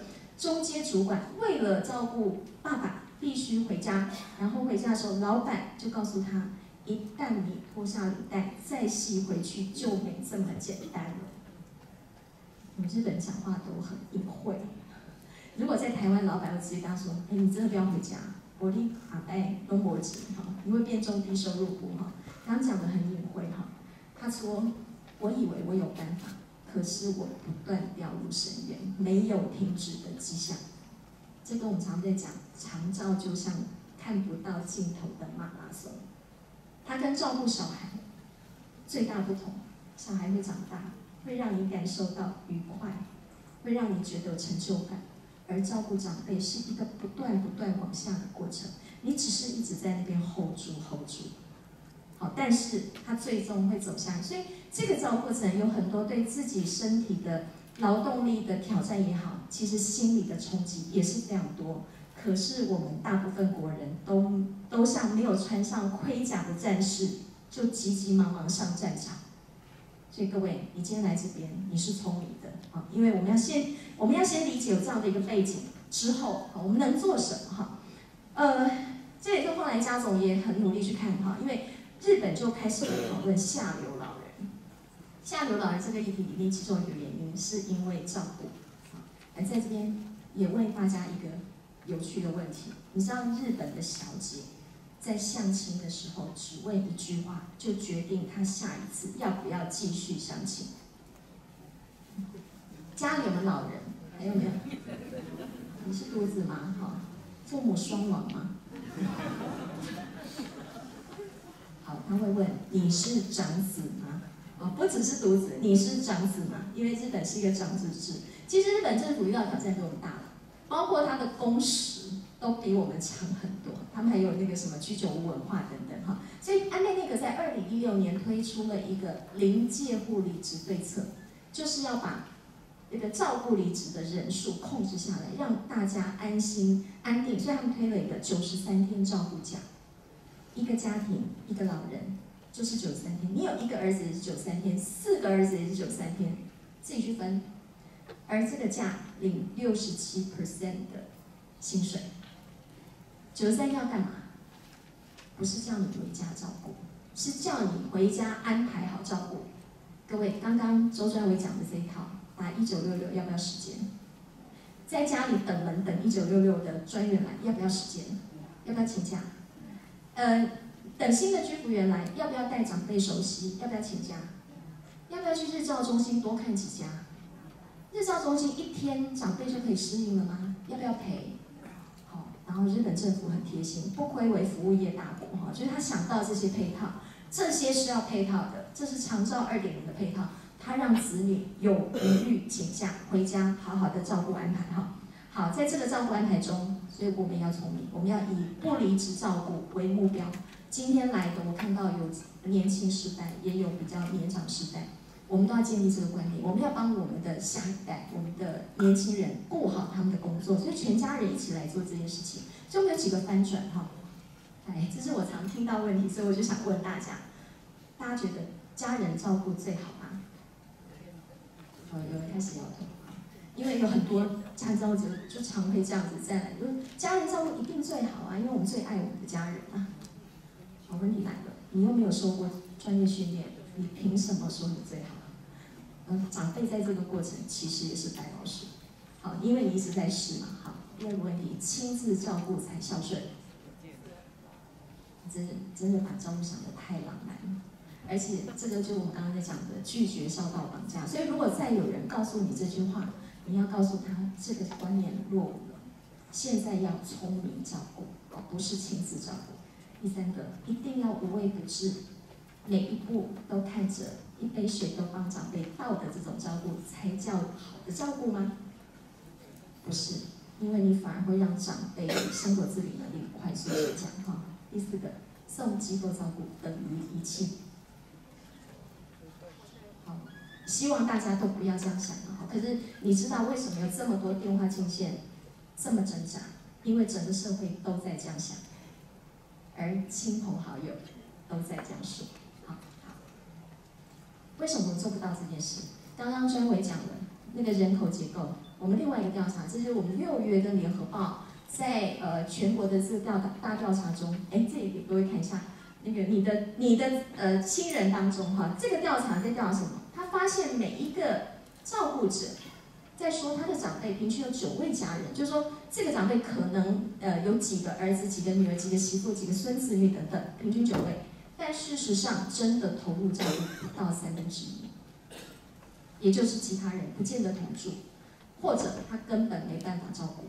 好，第二个，没有重大机构的长辈，就住在家里面的，有四分之一是一人独立照顾，这是非常可怕，就是一比一照顾。那里面大概又有五分之一是属于我们讲老老照顾，好，那他们对各资源就更不了解了，所以好，在这样的情况下，我常为什么说新家人关系？我最近常常浮现这个画面，如果我有幸可以做行销，这这个长照二点，真的就是一九五三年日本有一部很经典电影叫《东京物语》，好，各位今天如果有空可以拿出来看一下哈，哎，一九五三年是距离现在几乎已经是六十几年前。六十七年前，以七十年前，已经在谈到工商社会中，就是讲一对父母，子女四个子女，生了四个很多了吧，全部不住在一起，他住广岛，子女全部在东京，所以他去东京探访的一个历程，在里面已经看到当年六十七年前已经看到日本的危机，家庭崩解，家庭不是大家庭，就是一个小家庭哈。后来这部电影在六十年后翻翻拍，翻拍成了《东京家族》，哈，就是新的，可是还是在讲同样的故事。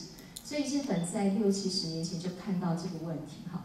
那为什么讲长照新家人关系？因为你的新旧的家人已经难以依靠。他已经不在你身边，你必须要找到新的伙伴哈。那谁是新的伙伴？我最近在想，包括你的同学、你的朋、你的邻居哈，真的是近邻可能比那个远亲远在天边的儿子要要要更值得依靠哈。哎，同学，好同学会好，所以最近我开始比较努力。积极参与我的国中同学会、高中同学会哈，有一天也许我们要彼此照顾哈，彼此互助哈。好，所以在这个关系之下，你先改变你的观念。那你想一下哈，你如果改变这个观念，你就不会对你的照顾员不好，因为他是你的新家人，你要对他好，他才会对你好。所以也不要去也，你不会用那种比较像客户的心态去挑剔他的服务，而是怎么样跟他协力，共同去做好这件事情。包括谁？包括你的外劳，你的外籍看工也是好。所以怎么样？呃，通过这样子的一个新家人关系的重建哈，当然这个是观念的翻转而已，实际的做法要怎么做哈？我们来看，你开始要有阶段性照顾安排的想法哈。什么叫阶段性的照顾安排？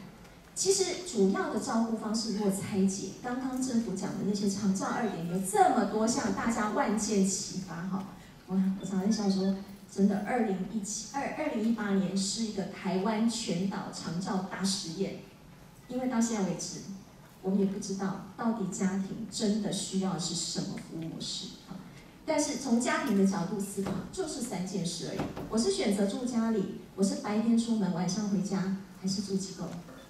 那住的如果是住家里，你就有不同选择。好，你自己你自己在家照顾，请外籍看护工，还有用政府的居家服务。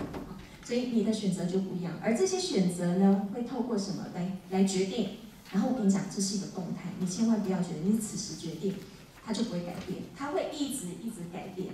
改变是长照历程中一个最大的特色，不变才是奇怪的哈。在这个改变当中，会因为老人家的病情变化，这是最大的挑战。再来，家庭的照顾人力的改变，所以我们接到不止。我们接到常接到这样的电话，临时子女要调派到外地工作，怎么办？本来照顾的好好的，怎么去应应这个调整？哈，好，经济条件当然是一个考虑。可是我真的必须要讲，我们现在真的比较幸福，尤其在今年从一百零七年一月开始的长照四包钱上路后，我们能使用的东西多很多，工具多很多。可是各位。可能很多人是不知道，还有有一些人是卡在自己的观念不想用啊，所以请大家要善用这样的一个安排哈，怎么混搭？然后这些安排其实在不同阶段哈，那不同的阶段涉及的一件事情叫代价，要花的钱。各位，这是一个家总根据一个家庭历经九点九年，平均九点九年可能会遇到可能会遇到的支出花费做的分析。有两项很固定，一个叫一次性费用，就是你买什么床啦、的辅具啦，然后这些轮椅啦等等，大概买了可以用很久，哈，这个叫一次性费用，哈。那有一个叫材料费、耗材，每个月尿布费、营养费，哈，这个清洁用品费用等等，这两项会跟着家庭的水准，啊，收入水准或者他对生活品质的要求而不太一样。可是有一个最大的不同，照顾方式。如果你一开始就选了外劳，一个月二十二 K 到二十五 K，跑不掉，好跑不掉。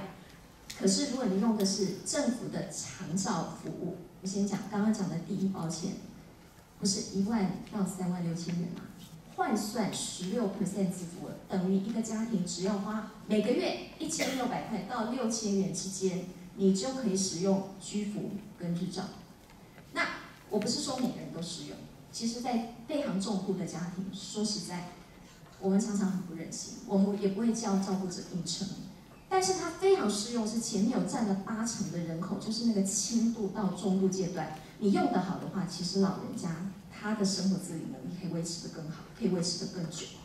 好，所以有一个图，刚讲那个历程，从衰弱期，老人家一直到离开这段时间九点九年中，其实家庭是在一个滚动的过程中，而在滚动过程，慌乱、适应、稳定，好，开始找资源，找各种方法来搭配。稳定之后，不要忘记下一次病情变化，所以我们心里要准备，这个挑战会一直在。但是我我也没那么悲观哈。对对，我们家总在发展一个服务叫长照教练。我常常跟同仁讲，这个东西你只要教一次，就像各位你今天来这边听一次，然后到你自己用到一次之后，其实你就会有概念了。我们在培养是什么？家庭的韧力。在应应这种变化里面的韧力，好，跟这个应应对这个变化的准备，跟不要这么惊慌的部分，哈，好，好，所以话说回来，来总结一下，平均九点九年，你家有多少子弹？所以呼吁大家，前面阶段不要拿大炮打小鸟，因为后面很烧钱。你的钱国家帮你留下来，你留在后面用，好，因为一件事，你真的不知道会几年。在家总最高一个案例，三十三年，照顾了三十三年。一个年轻小伙子本来退伍的时候要去沙地阿拉伯工作，没去，最后留下来是孝子，照顾爸爸，接着照顾妈妈。哦，最后现在六十几岁，父母都走了，房子也没了，他就跟高野昭宏先生没有什么两样。好，好，后面留得青山在哈。好，第二个，照顾过头。反而对长辈不好，所以你爱长辈的方法，反而是在轻轻中度阶段使用长照二点零，因为它可以让长辈继续发挥它上游的功能。哈。第三个，聘外外籍看工就好吗？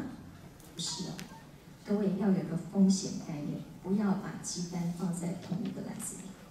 你的外劳会一直在吗？啊？你现在东南亚经济起飞，你觉得外劳还有多久不会来？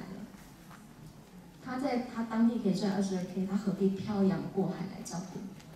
我有一次在那个立法院遇到劳动部长官，我有问他这个问题，我说长官，你们都没有中长期计划，现在印尼每次都能发生渔事纠纷，动辄用冻结外劳，他根本不用派派那个什么军队来，那怎么办？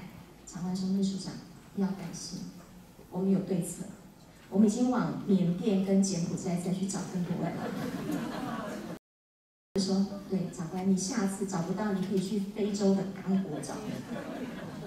各位不要笑，我心里有做好准备，也许有一天台湾会有刚果的外劳。真的没人，你能怎么办？如果在现像现在这样子一比一照顾者不赶快走出来的话，我们能怎么办呢？啊，什么是长照二点零？刚刚长官有讲过了，我们现在反一个角度来看，什么是长照二点零它叫社区整体照顾服务模式，所以重点在社区。好，所以为什么机构不补助哈？三种人：失能、失智、长辈加身心障碍者。目前这一轨还在持续的呃进入中，他的精神在老化，所以民众该怎么看？当他生病有健保，当他倒下有长期照顾服务，而这个其实政府有划分一个一个区域了哈，在日本的模型中，最好的区在大概在一个国中学区，为什么？成人步行可达的范围，好，就是不会太大，好，就在你家附近就看得到哈，啊，我们一定要认识一个叫教管中心，其实就是一九六六啦，好，是一九六六，你打去。啊，那个电话后面就是一个政府的各县市的长照管理中心，他在负责评估你家可以拿到多少的额度。啊。好，呃，放大到一个社区。，A、B、C，好，因为常听到，所以很多人问，我就用这个图说，有一个 A 单位，哈，这样的一个国中学区的范围的 A 单位，好，有特殊功能的 B 单位，然后有很多的 C 单位，门槛不高，可是他负责发现个案，如果他看到你，或是你问他。他可以赶快连接到上面的 A 跟 B，然后帮大家做整合的服务。所以最好的理想，他就在出兵，好看得到、找得到、用得到，这是理想。嗯，不过各位，我不晓得你们开始用了没？哈，不过等一下可以再说。好，政府提供长照四包钱，这边已经用到了哈。再来一个外籍看护家庭也可以使用，好，不要放弃你的权利。虽然它有一个，它有一个不一样，哈，第一包钱，刚刚讲这些第一包钱是一万到三万六千元之间，你只能拿到三成，外籍看护家庭只能有三成，而这三成又限制在一些使用项目，就是右边。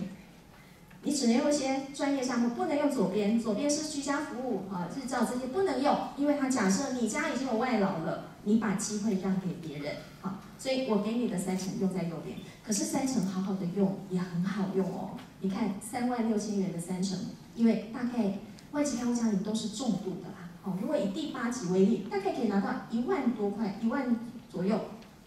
你看赋能照顾，什么叫赋能照顾？到你家去看长辈，怎么样让他的功能可以更好一点，可以维系？一次一千五百块，所以你几乎在每个礼拜或两个礼拜就可以排一次，所以这里面是需要一点搭配，是需要一点搭配的哈。好，这些很复杂，没关系，问你的一九六六，好不好？好，我们只要知道有个有一个概念跟原理就好了哈。还有两个新政策的提醒。最近劳动部有提供外籍看护家庭两次，而且会有通译跟护理人员进入哈的这样的一个服务，很多人也不知道，可以打去，应该一九六六应该要应该也可以转介了哈，不然就要打到当地的劳工局哈。第二个是最近政府很用心，有一个外籍看护的传习政策，会派人哈让外劳也可以稍微有一点点，那当然初步可能会是在家庭功能比较薄弱哈，老老照顾像老老照顾这样的家庭哈，等一下也许。可以再再深入说明哈。好，怎么申请？哎，刚刚讲的，一九六六，自己打电话自助。第二个，你如果因为现在很多的新手照顾家庭是从医院开始出来，你可以在医院阶段就问你的医院说，请问你可以帮我转介到长照的服务吗？长照二点零服务，他们有个衔接长照二点零的出院准备计划哈。好，这张图就是照砖，你打一九六六后，照砖会到你家，大概四十分钟到一个小时左右。各位，这张图有两个错误。第一个，照砖现在手上不会拿纸跟笔，他会拿一台 pad，他会拿，他现在是那个呃这个数位照砖哈，后面有个机器人评估哈，他会帮忙评估。第二个，第一次我会强烈建议家属在第一次评估的时候一定要请假陪在旁边，为什么？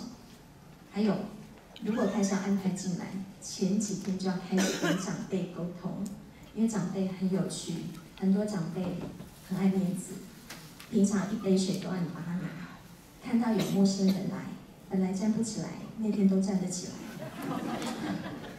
你站起来以后就差一级或两级，哦，你刚刚讲了一万到三万六千元，差一级差两三千哦，好，所以我们要如实。但是真的，因为很多很多照者就很冤，他说母亲本来就很乱，可是那天来就对答如流，看不出是个失智症啊，好好，所以这个也是一个困扰啊。不过没关系，就是这个这个准备是很重要哈。再来确认问题，好，你就是把你的问题跟他说。那有人跟我们讲，哎，那秘书长我就尽量说，我就说很多，你说很多也没用，因为你的额度就是核定那些额度，你超出的每一分钱是百分之百自负。所以要说重点。好，那现在像我们现在会建议，像洗澡的，它真的耗费比较多体力。如果是家庭教育真的要呃大量下下降它的那个呃负荷的话，洗澡好，好陪伴外出，有些长辈要搬运要什么，好，其实有一些呃有一些项目，我觉得思考怎么的聪明用在应该用的项目上，好，它是一个点餐式服务，所以你要聪明搭配。刚讲的不是吃的多就好，你要吃到重点，啊，然后呢，让长辈生活，我们不要只看到那个长辈失能部分，我们要看到是还有的功能，怎么样让那个功能，然后透过这些专业人士的协助，让它变得更好。好，他会开始派案给各单位，所以家庭要习惯这件事，有很多人会进来。我们今年的聪明照顾者选拔第三名，他说他一个月有五位专业来人员。会跟他接触到，好，所以我们要开始习惯跟专业人员共同工作，而他是我们的新家人这件事情，好，所以对不同专业领域的认识也是必要的哈。下面给我下纲，哈，社工人员，什么是职能治疗师、物理治疗师？他会开始出现在你的这个长照二点零的使用环境中，哈，所以怎么认识各个专业，哈，会对你聪明使用它会更有帮助，哈。好。讲了这么多，您吸收了多少啊？我觉得很困难啊，你会忘掉是正常的。好，所以下面呢，呃，家总就设计了一个口诀我想把刚刚讲完的事情，我们再重新复习一遍，然后我们大家一起来试试看，未来我们在想这件事情，可不可以有一个 SOP 哈？好，一工具，两电话，三步骤。谢谢，谢谢卫福部今年给了四保险，所以长照一二三四，以照顾不离职来做一个目标安排的话，我们可以怎么做哈？一个工具，刚讲了长照地理地图哈。其实这个地图最大的功能，我们为什么要做这个动作？是要让大家变得务实一点。我刚讲的都很理想，啊，是一个理想状况下有服务可以供给。可是各位，你今天住台北市，你是幸福的。你知道有很多地区不见得这么多资源，啊，那也也有很多地区其实资源长得比台北好吧，好，所以不太一样。所以这个地图的收集，一个重要观念是看你家到底附近有多少资源，你要不要搬家？我哎，我不是在说笑话。我们曾经有一个照顾者进来问的问题是：请问秘书长有没有背老人家上下楼的服务？台北是有啊，台北是有计程车司机在背长辈，各位知道吗？有一百多位。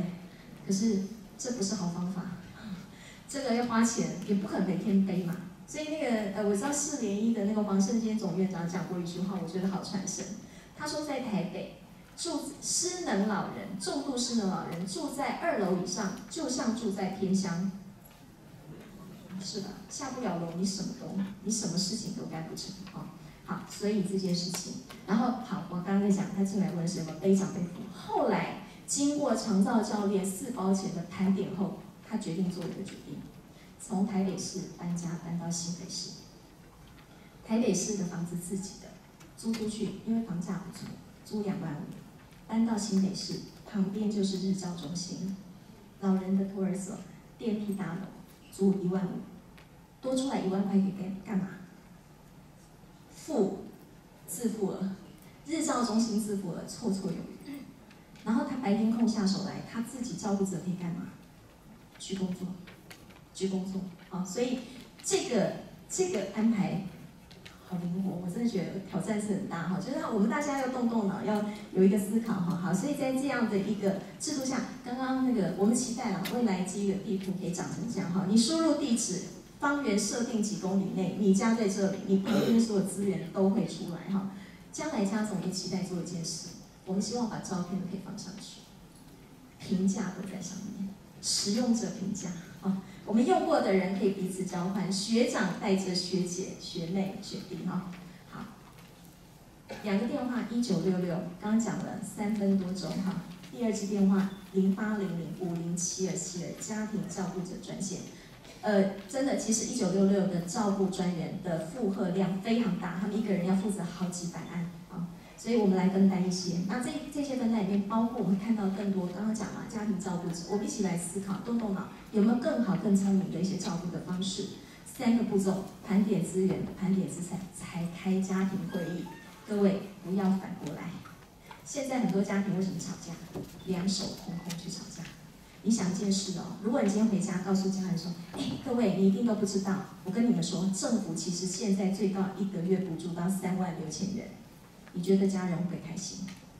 他会觉得，哎，有一条新的路可以走，不是只有家人彼此照顾，或者另外其他的工，还有别的选择。好，所以盘点资源之后，好，该付什么钱，谁来付？先把政府的补助算进来，再看长辈有没有一些经费可以付。好，我们就有一个案子是这样，经长辈有一栋房子，啊，照顾的很辛苦。后来长辈是住到机构去，他的房子其实透过房租已经可以够，再加上自己的退休金安排，重新安排后是够付机构的这个成本跟花费的哈。所以每一个家庭其实今天在这边讲的事情哈很难，就是一个大概一个大一个 SOP 而已。可是真的进入到每个家庭的问题，欢迎打电话。啊，刚刚专委讲没错哈，很多家庭问题是因家庭而异哈，还要再做更多的盘点哈。好，最后是长照四保险，这四保险也是因为我们觉得有点复杂，我们就家总就开发了一个线上试算软体哈。如果刚刚讲的如果不清楚，各位一定要进入这一个四包钱的网站，左边什么叫四包钱？点餐式服务是什么？中长期的照顾计划该怎么定？每月组合怎么试算？到陈阿公一个案例，这个是卫福部提供的一个案例哈，都在这里面有呈现哈，所以不要担心，现在有很多组织都在帮各位做这件事情哈。好，那我们就举一个例子，陈阿公基隆住在基隆，呃，先描述一下，他他是一般户，不是中低的哈。女儿一家人都要上班哈，那他呢其实是一个开朗的阿公，他每个礼拜都想要出去跟外面串串门子哈。虽然他已经是第五级师了，所以在赵他打电话到一九六六后呢，赵专就来家里评估后，就开始给他四包钱的最高额度哈，两万四啊，第五级是两万四。交通接送，因为住在市区，所以呢就不会补到那么多。可是如果你今天住在南投的信义乡，好的，好信义区跟信义乡差很多哈，好，所以呢它就有一千六百八，辅具四三年四万，哎，其实这段很好用哦，也鼓励大家。其实长辈如果有辅具，有无障碍环境改善，他在家里的环境相对，然后最重要预防跌倒，所以那个防滑垫一定要做，扶手要做哈，好。最后喘息服务，因为是轻度呃中度，所以是那个属于叫做呃换算大概是十四天的那个等级，三万两千元。好，所有这些他开始试算。如果他选的是居家服务，他开始有沐浴，哈，几组沐浴如何如何试算后，譬如说以他两万四千元这一级，他最后只用了一万六，他就是在那个额度内，所以他是十六个 percent，他就。自付了两千六百七十五就可以使用这么多一个月这么多的服务，所以你要自己去定一个计划哈。好，第二个，如果他超出额度，譬如他用到了两万五，超出了一千两百元，这一千两百元要全部自费，所以加起来之后等于要五千六百多块，五千五千多块哈。好，所以这是两个试算。如果你换算到用我们的系统去算呢，你就登录一般户第五级。没有聘雇外劳，基隆市人来局下一步这包钱全部会出来。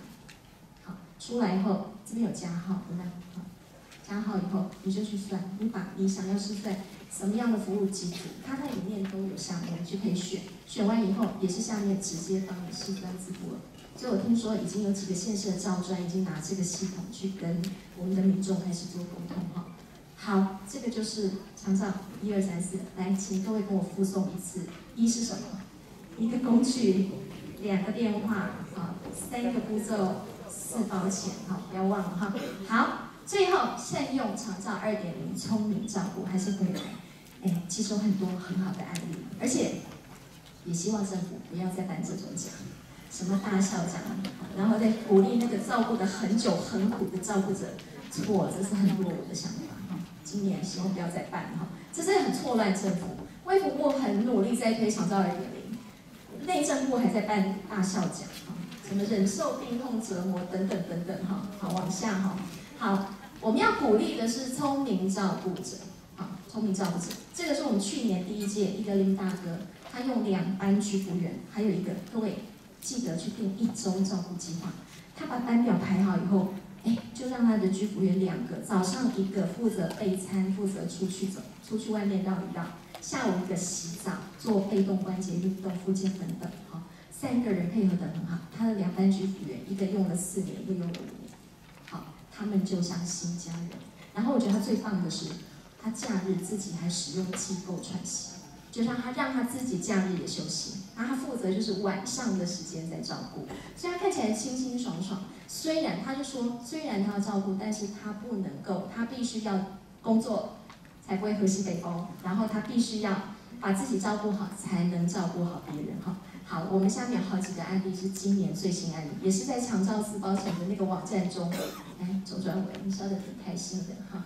好，谢谢周委那天来颁奖哈。我们的阿妈第一名的阿妈是一个老老照顾的案例，自己将近二十八年哦。二十八年可以还笑得这么开心，我真的也很少看到。所以真的，呃，原住民的同胞有一个很乐天的，这也是很好，在照顾者中，这是一个需要有的特质哈。好，他你看到第八集，他就善用了这四项服务，包括家庭照顾者的舒压活动、支持团体等等哈，啊，帮助他走出来。第二个，第二位他是两代照顾，他自己有个新生儿，好，那他也是，他用日照，那你看他是周一到周四用日照哦，周五他特意接爸爸回来，因为他说他想要让爸爸跟小孩有一个三代同堂的机会。好，所以每个家庭其实会因着不同的状况，好，这个更棒哈。六十三岁，把妈妈送到日照后，自己去考照顾服务员，现在长照服务。我觉得这个故事有一个很棒的启发，从一比一的家庭照顾者，日照中心是一比八。好，他一个人可以照顾到六六个人、八个人，所以这样的人力就会出来。好，我们就要善用人力，好好让人力发挥最大的功能。哈，好，刚刚讲有一位先生照顾失能的太太，他怎么做？哎，他把原来工作辞掉，因为他知道他无法那么长途的去工作，所以他最后他争取在自己的大楼当管理员，自己主动毛遂自荐去当管理员。好，然后把他的照顾安排等等把它做好。好，这些故事都在网站上。我今天没有太多时间讲，不过长照路上要两种贵人，一个叫长照教练，长教练就是像一九六六或零八零这些个管也好，社工人员也好，哈，因为他会了解很多的资源，就像我今天这样子会介绍给大家。第二种叫学长姐，已经有经验的人。所以呢，也啊，奉劝大家，所以在这里面，其实除了居住安排、时间的管理、金钱管理等等，我们都要学。长照这条路是一个全新的领域，因为过去的人真的没有活这么久。所以，我们因应未来的这个照顾的浪潮，我们要学习的智慧跟挑战会更多。我今天讲的如果不完整的，另外在其实台北市的民众真的蛮幸运，资源很多。我们自己在辽宁街有一个实验基地，里面每个礼拜三跟四的下午都在做长照教练的呃说明还有咨询。好，所以如果你还需要的话，也可以到这个场域哈，我们就有一套这个整个长照教练的引导哈。好，最后，呃。提醒大家，面对家人照顾会开始一段苦日子，但没有任何人应该因为另外一个人倒下而过度牺牲。我强调的是“过度”两个字，一定会牺牲，一定会牺牲，但是不要牺牲到连你最后自己都活不下去，哈，这是不应该的，哈。第二个，别不小心成为别人家照顾的加害人，所以亲朋好友少句话运动。如果对别人家的照顾，除非你可以提供非常实质的帮助，否则。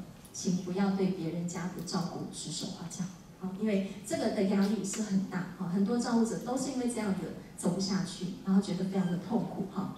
好，最后停在这个故事，因为每次家总在外面讲完，各位，你觉得照顾是国家的责任还是家庭的责任？有很多人说，你一直去倡议国家责任，最后家人会觉得他没有责任，会没有爱，好，那就以这个故事作为一个结束。我们之前邀请了瑞典学者来，最后也有一位听众问了这个问题，那个学者就回他：不是这样啊，因为老人家也需要尊严啊。我希望我的子女永远就是我的子女，而不是不是。我希望我跟他相处的画面就是美好的画面，不是八十八秒的画面。这个故事说了两件事：照顾者有自己的人权，他的生命不因为不应该因为照顾而中断；被照顾者也有自己的尊严。他也希望被尊严的照顾好。好，以上就分享到这边，谢谢大家。谢谢陈秘书长。那不知道现场的听众有没有什么问题想要问，请教陈秘书长。大家刚刚应该还停留在，我自己是好几度被很深刻的被触动，因为本来长招应该是一个很。沉重很严肃的议题，可是女组长带给我们不一样的观念去看这些事情，然后让我们知道怎么去善用这些资源。所以现场没有听众要请教秘书长的吗？来这边请。我想问一个问题，就是说，呃，这些长照都是刚才的前置条件，就是私自失能的这这这些为对象。那可是我们现在面临高龄化社会，可能这些高龄者他，呃，不是私自失能，可是他也碍于高龄，他已经，呃，失失去某一些他能够，譬如他要自己备餐，他也许他还是可以自理他的生活，可是有一些购物啊，或者是备餐这些，就是说我举个例子啊，就是我的母亲，那她算是很健康，可是她有很严重的。骨质疏松，所以他现在就已经，他他还是可以活动，但是他就有时候备餐需要再久，有时候需要端锅子，他就有困难。那我就在想这一块的这一部分，我们有有可以怎么来运用？不好意思，因为今天时间的关系，其实长照二点零有两段延伸哈，一个是延长到前前置的那个延缓失能失智计划，延缓失能是代表就是他还没有进入到失能程度，其实应该开始有，让他有更多活动跟角色，维持他身体的机能，还有重要的是社区的互动性，所以那个共餐，为什么最近一直在谈这件事？因为走出来能吃饭，能够跟人谈话这件事情本身就是一个重要的哈。这段服务也很多，我们今天其实没有太多时间，因为我们两个就只有两个小时陪伴。先应该是进入那个，嗯，呃，一九六六全部都可以问吗，长官？应该是可以啦，应该如果说有问题，零八零零也是可以，零八零零五零七二七二五零几后几后那一条专线是可以，我们两条专线是合作的哈。那其实关于老人角色的安排，真的像刚刚我在讲一个照顾咖啡馆，花一点时间。其实这个咖啡馆，我们最想做的一件事是年轻，呃，不是年轻老人，就是还没有真正进入到失能老人就可以开始来。所以这一栋大楼，这个是一个南新的模型，在呃那个华航后面，南京复兴站吧。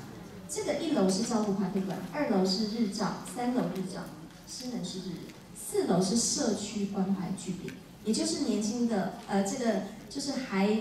还健康的老人家，好，他只是也许行动力等等，所以一楼可以共餐，四楼可以上卡拉 OK，可以上一节课，可以有人说说话，可以走出来，长辈走出来是很重要。我们现在最难工作的一端就是一直在家里面不愿意出来的长辈，哦，这个反而是。所以刚才讲说，呃，如果是母亲是这个状况，那第二个，您刚刚讲骨质疏松，我我现在想，他应该还是要经过，因为他主要评估是生活自理能力。所以不因为你是疾病是哪一种情况，是什么造成的，所以我还是建议你可以先打一九六六试试看，好，因为他可能已经呃，可能是在第一集，maybe 在第一集，也许已经有到第二集、第三集都有可能，好，好，请问有问题吗？因为要吃饭，让大家很准时吃饭是一种很重要的事。好，谢谢秘书长，谢谢大家，掌声，谢谢。